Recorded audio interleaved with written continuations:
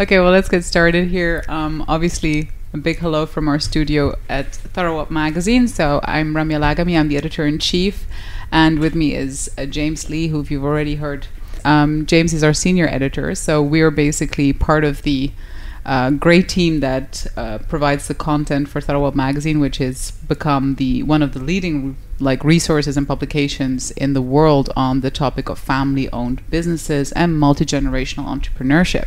Yeah, and um, this whole podcast is your idea, not mine. I'm of course, it's mine. Of course, so, like, that's so, this so is like you just basically have to do what I tell you. That's I'm only all. saying that because if this podcast fails, it's on you. Oh, and, oh yeah, you know. I'll take that pressure. You know, right. and you know, being part of a family business myself, yes. I'm quite used to the whole blaming and sure. blame game and stuff, and the guilt. Yes. So, like, you, you, can't shock me, James. Yes. All right. well, um, in that case, um, if, I don't know if everyone's aware, but Tharawat Magazine is in itself a family business. Yes, that's true. And you are a family member of that family business. That I am, yes. Yes, you are. It's a little known fact, actually. Yes. So, what has to break in your head for you to say, I want to work with my family? well, you have to uh, be a little bit delusional and, like, you know, have a uh, have a very um, a a clear tendency to overestimate yourself, and then basically you jump in. So that's what happened to us um, seven years ago when right. in wait so um, the seven years ago that's that's which year is this so we're talking here end of 2008 yes. uh, beginning of 2009 when we put out the first pilot issue of Tharawat mm. magazine and um, we did this in response to what we felt was a huge gap in the market in the sense that we know that there are high quality resources out there but i've always felt that what we could add to the to the to the knowledge pool was maybe a more global take on the topic that had mm-hmm. already been tackled.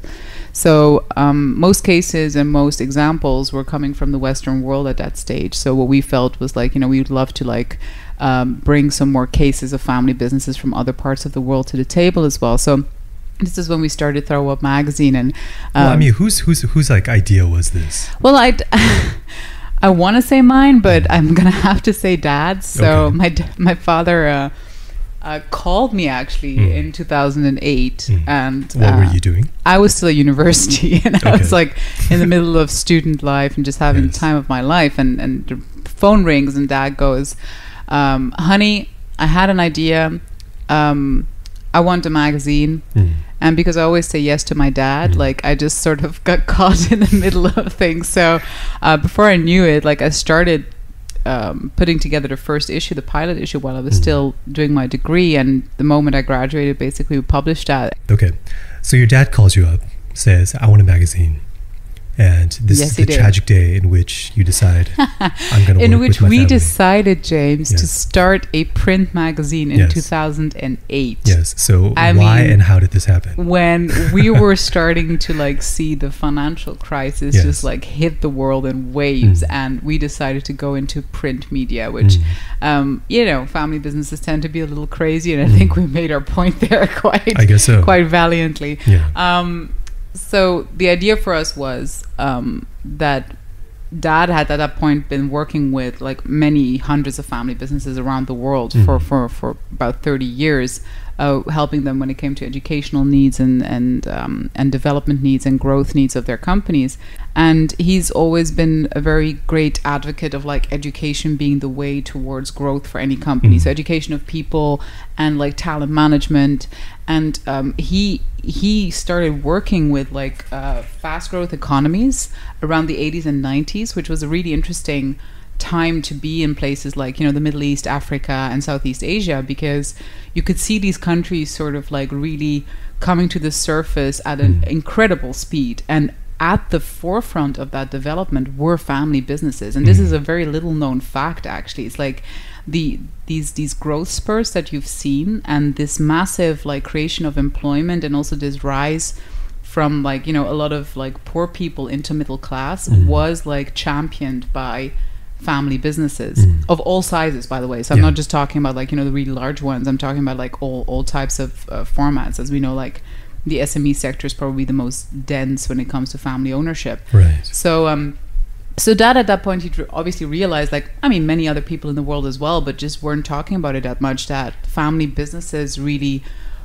were a different ball game were a different ball game from other corporations, but mm. also were a different ball game depending on where you were located and what kind of culture you were part of, right? Mm. So you were, um, we were at that point very much dominated in terms of theories and literature on family business from everything that came from the West. Mm. So our whole argument was here, okay, so let's get started in creating some really good content in trying to include as many varied perspectives as possible and mm. just like get get people from all over the world to participate in the dialogue and that's right. how Tharawat magazine was born mm. and uh, we tend to be like um, I guess relegated to the mm. Middle East because of our name but really the reason why we chose this name is because Tharawat is actually a really beautiful word in Arabic uh, mm. which means it means fortunes mm and fortunes not just like you know in a in a in a material sense but like you know for the fortunes of life basically mm. and we feel like we really felt at the time it really encompassed very much what family businesses